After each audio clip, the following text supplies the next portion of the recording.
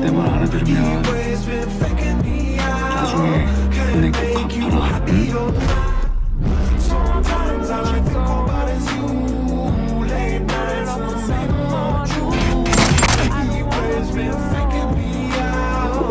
자기 자기